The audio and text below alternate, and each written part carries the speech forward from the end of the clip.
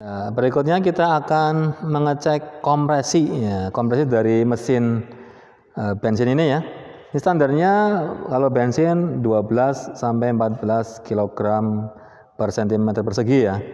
Nah, ini kalau di bawahnya maka performanya kurang dan kalau di atasnya berarti mungkin ada kerak atau karbon ya yang tertinggal di piston ya. Kemudian kita membutuhkan alat ukur yaitu kompresi tester.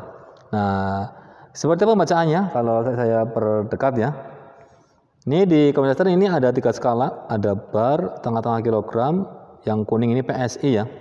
Jadi bar, kilogram, kemudian pound square inch ya PSI.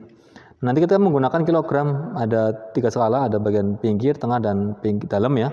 Karena kilogram bagian tengah, berarti kita baca dari bagian tengah semuanya. Ya, jadi 4, 6, 8, 10, 12, 14 ya, di bagian tengah semuanya. Oke, kalau misal nih di jarumnya di 10 lebih satu trip, berarti 10 setengah. Insya Allah langsung bisa ya. Sekarang kita seperti apa e, penggunaan e, alat ukurnya? Yang pertama kita lepas busi ya, dengan kunci busi sama ratchet. Kita lepas, tutup businya, lepas. Kita melepas empat buah busi ya, lepas.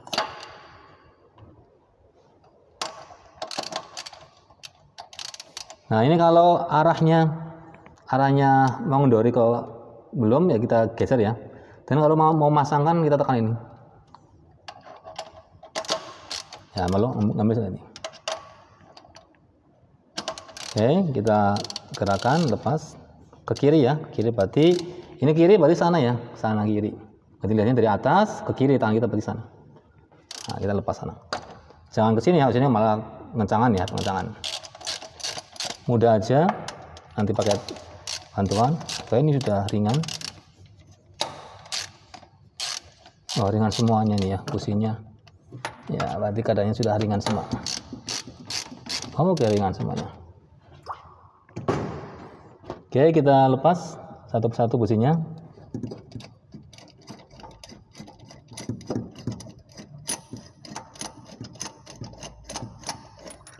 oke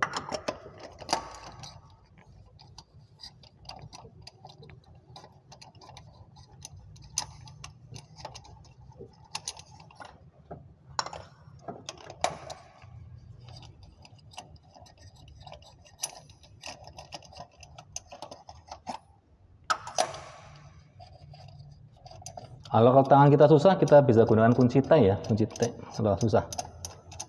Atau pasangannya kita T. Kalau semua sudah kena semuanya, kita tarik ya ke atas. Lepas semuanya ke empat busi. Dan kita sekalian ngukur, saya lepas sekalian ngukur.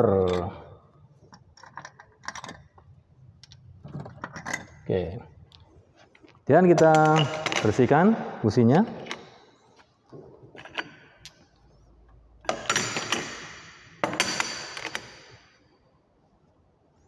Oke, berikutnya karena kita ngukur kompresi, kita pasang ya. Nanti pengukuran uh, sampling aja ya, yaitu di uh, busi nomor satu ya. Kita pasangkan ke lubang busi kompresi ini. Untuk mencegah kebocoran, ya kita bisa lepas tutupnya ini. Jadi biar udara yang terpompa atau tertekan nggak bocor ya, bocor. Pasangkan ke lubang busi, pelan-pelan aja. Karena di sana ada sealnya, berarti nggak usah terlalu kencang pokoknya set aja. Oke udah cukup. Kemudian kita akan e, menyalakan ya. Kita lepas dulu yang ini. Filternya karena ini nanti membersihkan bunga listrik ya. Nah, kita lepas dulu. Kita ke starter sampai hasilnya diam ya tetap oke. Oke cukup. Ya. Oke cukup. Oke sekarang kita baca nih kita baca. Standarnya 12 sampai 14 ya. Ini berhenti di eh, 13 setengah ya. Ini 12 13 setengah. Berarti ini 13,5 kg cm persegi kompresinya. Berarti dalam kondisi bagus. Ya. Kemudian kalau mau membuang tekanannya tinggal tekan ini ya, tekan ini.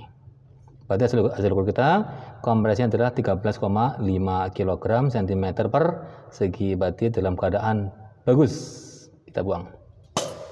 Oke. Oke, seperti itu cara pengukuran kompresi pada mesin bensin. Oh iya, tambah lagi ya. Nanti ketika uh, ngukur kompresi itu gasnya di gaspol ya.